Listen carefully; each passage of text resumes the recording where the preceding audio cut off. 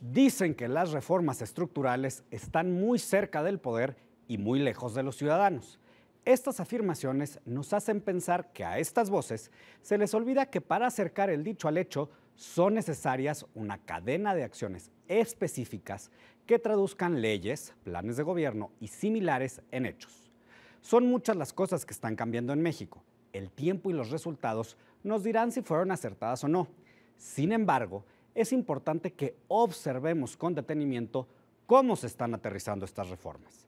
Así, una de las reformas más polémicas, la energética, empieza a enfilarse a su pista de aterrizaje a través de la presentación de planes quinquenales.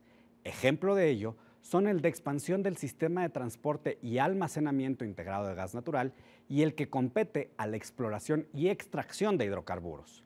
La zona clave de estos planes está en que contemplan dos sectores fundamentales. Lo estratégico, llegar a todo el país, y lo social, detonar un desarrollo más equilibrado a partir de extender por primera vez en la historia una de las opciones energéticas punta de lanza de desarrollo económico a entidades como Guerrero, Hidalgo, Michoacán, Oaxaca y Chiapas.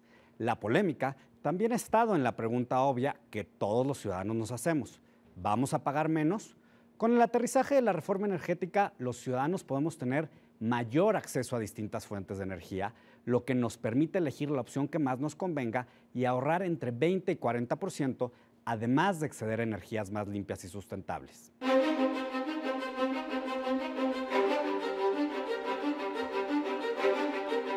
Música